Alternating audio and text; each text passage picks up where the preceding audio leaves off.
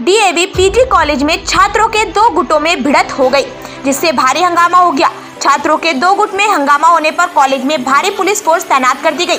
मामला बढ़ते देख पुलिस को लाठियाँ फटकार कर भीड़ को तितर बितर करना पड़ा।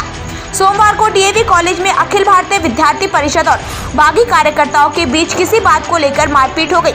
मामला बढ़ता देख कॉलेज में भारी पुलिस फोर्स तैनात कर दी गई। छात्रों के बीच हंगामा बढ़ने पर पुलिस ने लाठियाँ फटकारी और छात्रों को इधर उधर किया। डीएवी पीजी कॉलेज में अखिल भारतीय विद्यार्थी परिषद व बागी गुट के कार्यकर्ताओं के बीच सोमवार को तीसरी बार फिर से मारपीट हुई। पुलिस ने दोनों गुटों के छात्रों को कैंपस से खदेड़ दिया है। विरोधी गढ़ से छात्र संघ अध्यक्ष निखिल शर्मा ने आरोप लगाया कि अखिल भारतीय छात्र संगठन के कुछ कार्यकर्ता पिछले दिन से उनके समर्थकों को निशाना बना रहे हैं। वहीं एबीवीपी के प्रांत संगठन मंत्री प्रदीप शेखावत ने कहा कि उनके संगठन का कोई भी कार्यकर्ता मारपीट में शामिल नहीं है। विरोधी गुट गलत आरोप लगा रहा है। उधर कॉलेज के प्राचार्य डॉक्टर अजय सक्सेना ने कहा कि उनके पास किसी भी छात्र संगठन की शिकायत नहीं आई। पुलिस मारपीट करने वाले पर कार्रवाई कर रही है।